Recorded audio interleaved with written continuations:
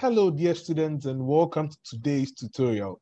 My name is Sebru, and on today's episode of the Terabyte series, Past Questions and Answers, I will be taking you through the 2015 WASSCE School Candidates Examination Practicals for Elective ICT. Now, before we delve into the practical question and answers, there is one important thing that you always need to do when you are writing a practical exam. That is to create a folder that contains your name and your index number where you are going to store all your practical solutions. These practical solutions will then be bent onto a compact disk that will be provided by the WAEC for your assessment. Without this folder and saving your solutions in this folder to be bent on the CD, you would be putting all the work you have done into a jeopardized position. So we are going to do that first. We are going to come to desktop under my computer or this computer based on the PC you're using.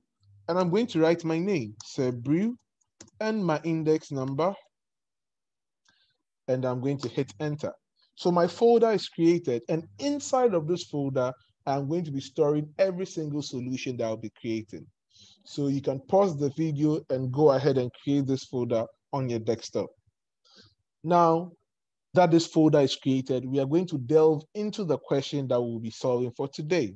Now our question paper for today basically focuses on the areas of HTML, database, and QBasic.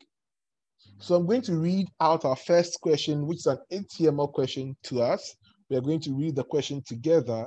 Then we are going to delve into its solution. So it says, answer all questions. Question one, A, with the help of an appropriate text editor, create the HTML codes to produce the page below. Now note that the outline of this page that we see represents our web browser. What we have to do is to create the content that is within the web browser, which we'll be doing in a text editor called Notepad.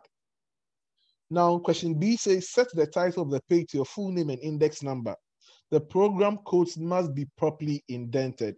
So this is a condition that is going to advise how we create our program codes. And lastly, say save the file as unordered underscore list.html in the folder created. Remember that folder that we created? Awesome. So we're going to delve into solving this question. Then we'll consider the other questions in database and in Q basic. So to solve this question, HTML question, we're going to activate or bring up our text editor, which we'll be using Notepad. Now, for the purpose of this presentation, I'll be splitting my screen into two so that we can have the question on one side. Then we can also have our text editor on the other side. So I'll split my screen into two. On the left-hand side, we have our question. Then on the right-hand side, we have our text editor. So our question says, with the help of an appropriate text editor, create the HTML codes to produce the page below. So first of all, we need to create our basic HTML structure. So you're going to have, and then as you know, whenever you open a tag, you need to what? Close that tag. So you're going to close our HTML tag. Awesome. Now within our HTML, there are a number of things that other tags that we'll need. We'll need a header. We will need a body. Right. So we're going to create our head tag next. We're going to close it. Then our body is also within the HTML tag. So we're going to create our body. Then we're going to close it. Okay, now if you look at the B part of our question, it says that our program codes must be properly indented. Now we are going to take care of that later so that you can see how to do it properly so now we're just going to focus on solving the first part of our question. Okay, so our question says that we are to create this page, which says these are my to-do list in no particular order, and then the list follows. So our list is going to be created within the body. Now we have to introduce our preamble here, which says these are my to-do list in no particular order. To do that, we can use a number of tags to do that, but I'm going to use the paragraph tag. We could have used the heading tag, which was going to bolden our preamble, but we are going to use the paragraph tag, which is P, right? And as you know, you're supposed to close it. So we go ahead and close it, P. Now, it says, these are my to-do list in no particular order and then colon. Right. Now our list is also within our body.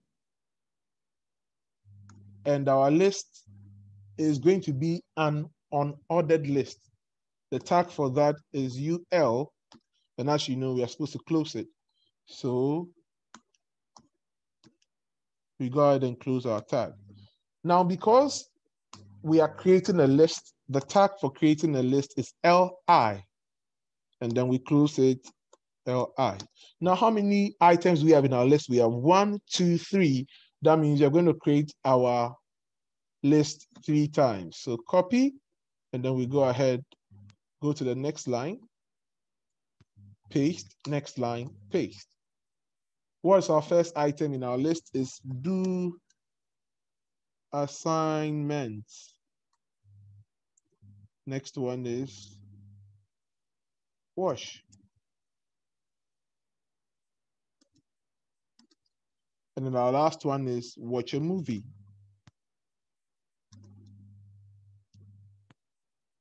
Okay. Now that our list is created, we can go ahead and run this piece of code to see if we will get the page that question one is requesting for. So we are going ahead to save it. Our question requires us, of the C part, it requires us to save this as what? An unordered list dot HTML. So we have on ordered underscore list dot HTML.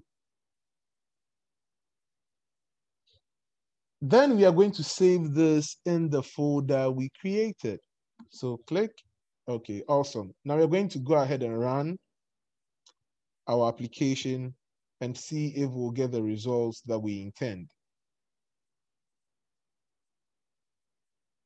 Now, beautiful, we have our intended results. It says these are my to-do list in a particular order, and then we have our list here. Now, if you look at this title bar, what do you see on ordered which is actually the name that we what we saved our document in. However, going back to our question, the B part says set the title of the page to your full name and index number. So you're supposed to change this title, which says on order dot underscore HTML dot HTML to what? Our full name and index number. Now, title tag belongs in the head. So we're going to go to the head and we're going to create our title tag. As you know, we're going to close it.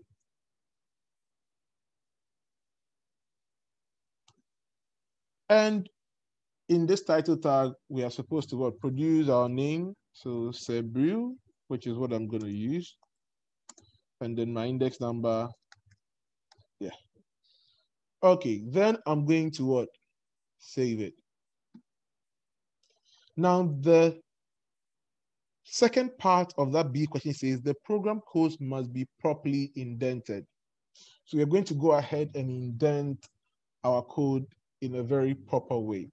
Now to do that, we are going to move every single tag and align them with their closing tags away from the tag in which they belong. So we have ATM and HTML starting. We're going to leave those guys alone. Then we are going to move the head and title is within head. So title must go further to the right. Head must align with head. Then we have body. Body contains a paragraph. It also contains an unordered list, which we are going to order. So all the list must be. So our lists are in line. Our body is supposed to move forward. Uh, which doesn't really matter, but we just want to. Um, okay, so we have our body in line, our on order list in line, our HTML in line, our head in line, and then our title properly indented. So everything that is nested into another tag is separated from them so that the clear distinction is made. Now, once you're done with it, you go ahead and you save. And once you have saved, you can go ahead and refresh. Oh, sorry, go ahead and refresh. Now what happens? You see here that our title has changed to Sebru 101121223, and then our list still appears. At this point, you have solved your question. And because you have already saved the question, your solution as underscore list, the HTML, you scored the last point too. That is 15 solid marks for you. And then you can go ahead and jump to the next question, which we'll be doing in a few seconds.